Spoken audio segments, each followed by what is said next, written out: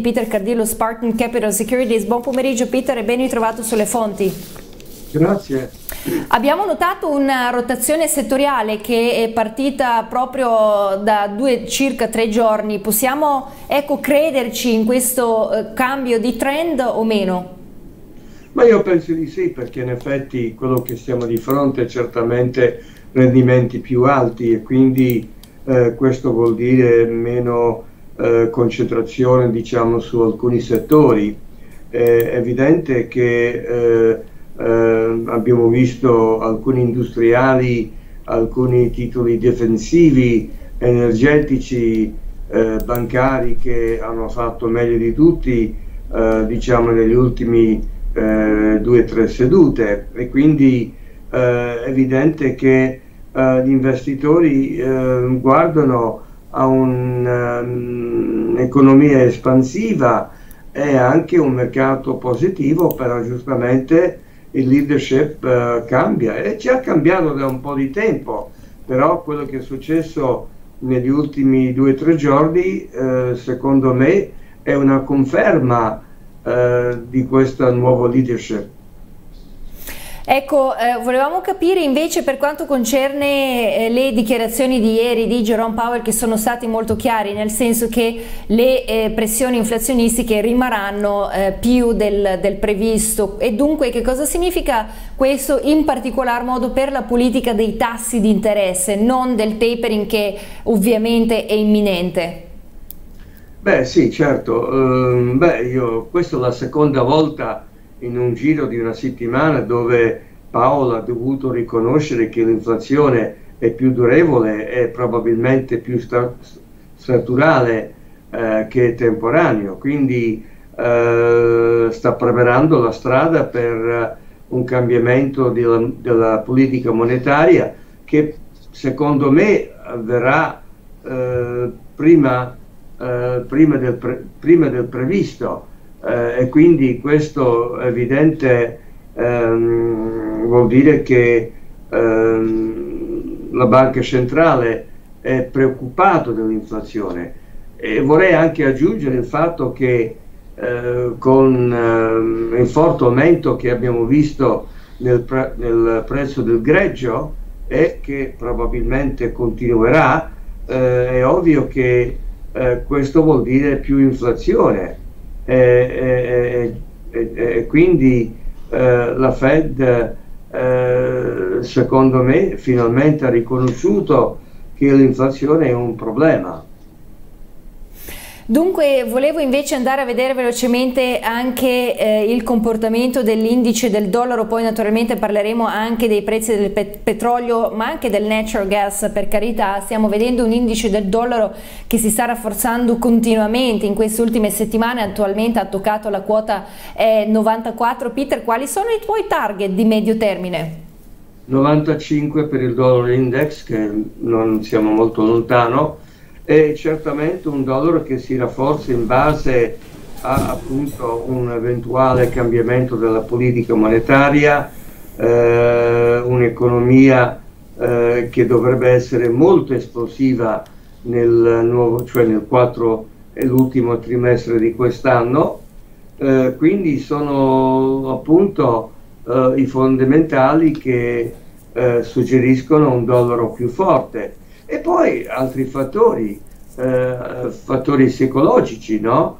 Eh, la storia con Evergrande non è terminata, infatti eh, oggi si trovano di fronte a nuovi pagamenti e hanno annunziato eh, la vendita eh, eh, della Shanghai Bank che loro possiedono e quindi questo vuol dire che questa storia non è finita, eh, certamente favorisce il biglietto verde perché sappiamo che eh, nei tempi di incertezza il dollaro viene considerato come eh, una moneta di rifugio. E con il fatto che i rendimenti continuano a salire, che probabilmente continueranno, certamente eh, il dollaro eh, brilla Assolutamente sì, eh, questo naturalmente anche in ottica di una politica monetaria forse meno accomodante eh, rispetto a ciò che abbiamo visto negli ultimi 12 mesi almeno. Intanto volevo naturalmente toccare un altro argomento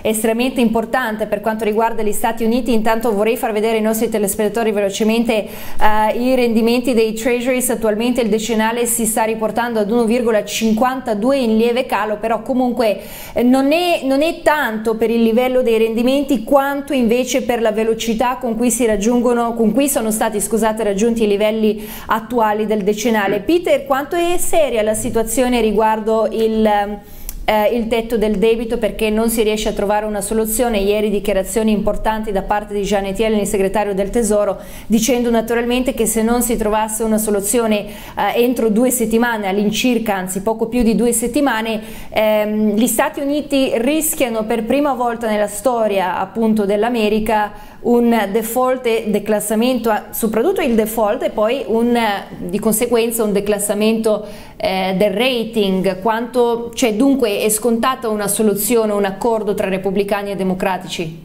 Sì, certo, beh, innanzitutto vorrei dire che questo certamente è un gioco politico e niente più. Gli Stati Uniti non, eh, eh, non mancheranno ai loro pagamenti e il default è fuori questione. Ehm, potrebbero chiudere il governo per un giorno o due? Possibile, ma anche lì credo che non succederà. Ehm, pensare che gli Stati Uniti possa ehm, in questo momento ehm, fallire sui loro pagamenti sarebbe una follia, è veramente un discorso cioè chi è che fa questo discorso eh, non è conoscente, eh, direi piuttosto un argomento stupido, perché ehm, con i democratici che hanno i voti ci sono gli strumenti e la possibilità di eh, eh alzare oppure sospendere diciamo, il livello del tetto, eh, quindi è questione di tempo eh, è ovvio che i repubblicani eh, fanno questa polemica, questo discorso che basta, non possiamo più spendere. Anche vero che sono stati i repubblicani eh, quattro anni fa che hanno dato, eh, cioè hanno incrementato il debito americano senza avere un strumento di pagamento, perché è ovvio che con um, eh, con la riduzione dei tassi a minimi livelli, eh, questo ha creato un deficit ancora più ampio di quello che, che, che, che c'era e quindi eh, il, il, recupero eh, dell'economia eh, non ha pagato per questo debito. Quindi i democratici non lasceranno il paese di andare in fallimento? Assolutamente, assolutamente no. Sarebbe una catastrofe non soltanto per gli Stati Uniti, ma per tutto il mondo. Tutto il mondo. E quindi eh, è assurdo a pensare che eh, questo succederà. È un gioco politico che secondo me eh, termina, terminerà fra poco.